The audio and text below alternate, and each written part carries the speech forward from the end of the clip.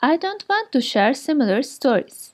For getting more engagement on Insta, I need to add animation to photos. I found an new app. Wow, there are more than 70 photo transitions. This is so good. This is so cool. This is impressive. The most popular story will be mine.